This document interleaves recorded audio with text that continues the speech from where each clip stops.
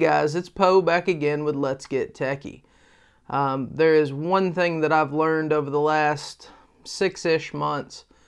You will never understand how busy your life is going to be until you have a child. I don't have time for anything anymore. That's why I haven't uploaded in so long. Um, it's the greatest blessing in the world, but before you have a child, get all the sleep you can because there is none of that afterwards. Today, we're going to take a look at a product that I got from China.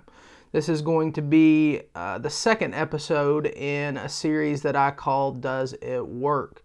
Uh, so we pick up an item that we find online, uh, we see what it claims to do, and then we test it and see if it uh, meets our expectations and does what it says it's going to do.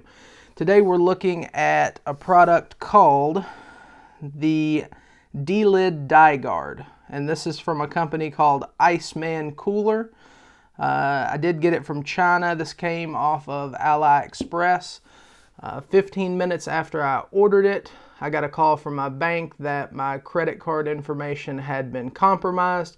Uh, so yeah, just thought I'd throw that out there. Um, if you're thinking about getting it, um, maybe use PayPal.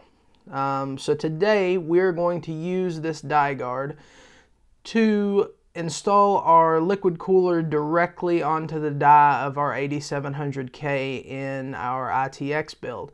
So this build is an 8700K, 16 gigs of RAM, and a Titan XP. So this CPU is currently delidded.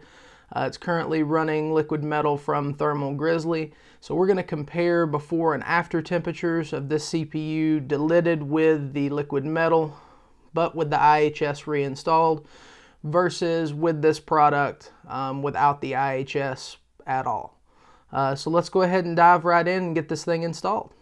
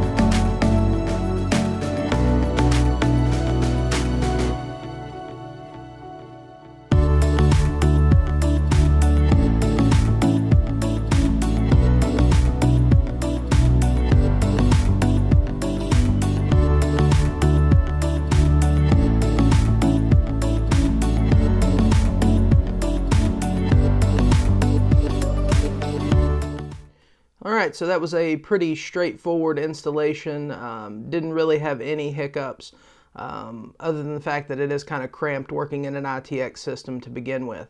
Uh, so let's go ahead and take a look at temperatures. What the is that? So what happened?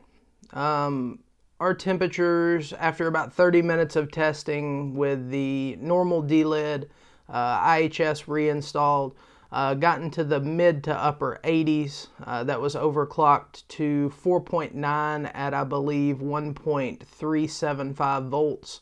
Um, somewhere in that neighborhood. It may have jumped up to 1.39 uh, after load line calibration.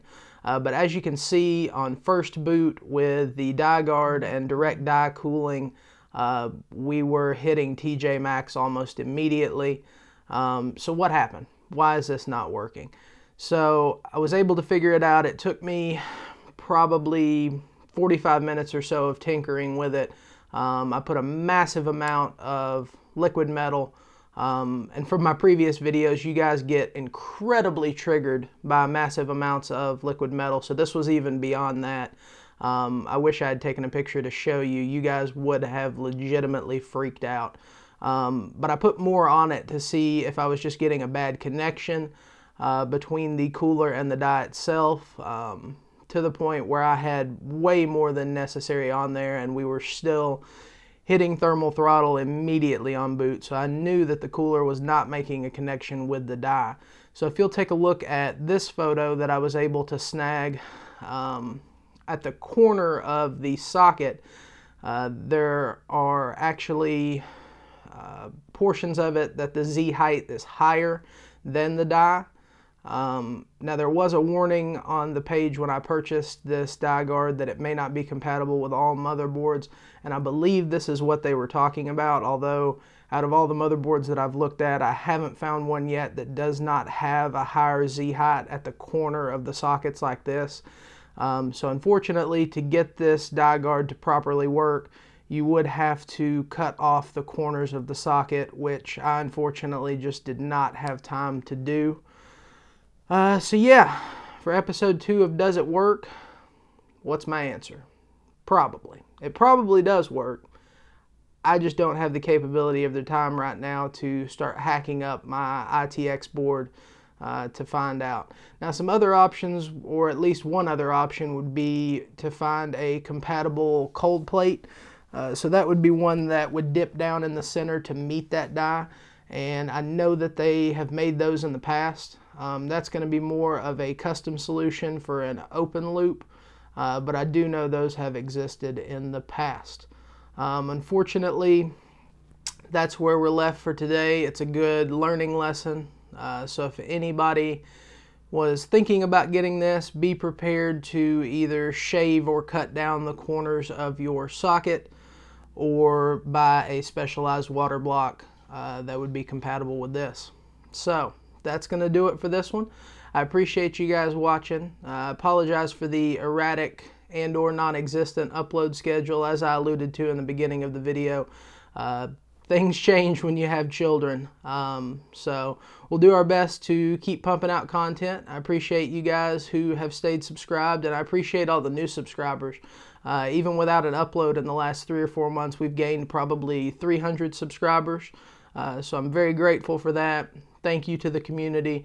Thank you for all your comments, uh, even the negative ones. I enjoy reading all of them, even the negative ones.